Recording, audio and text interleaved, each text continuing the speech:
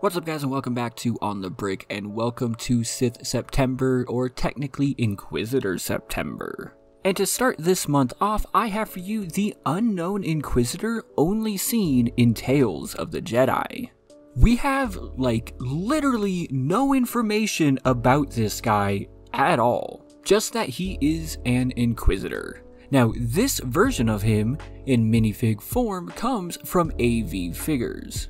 Though it is currently sold out at the moment, it does normally retail for about $50. Now for most of AV's minifigs, I would say the prices are reasonable, but this one is a little on the higher side. But if you keep watching later in this video, I'll explain why.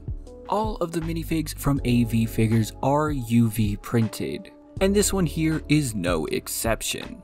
Though honestly, the printing is rather minimal. All of the Inquisitors kind of by nature just have black armor, so there are details included, but they're meant to just blend in with everything else. So when it comes to this minifig, the real crux of the matter are the extra elements that AV have included, like this lightsaber, which can actually spin around, just like we see with the Inquisitors in the shows. This is a custom element made by AV Figures and as far as I'm aware only available through them. In addition to that you also get this custom printed cape piece which has printing on the back here and also includes this little thing on the front. I don't really know what this is. Now this is 360 degree printed even though most of it does get hidden underneath that cape, but of course the biggest element here and part of the reason why this is so expensive is because of this headpiece.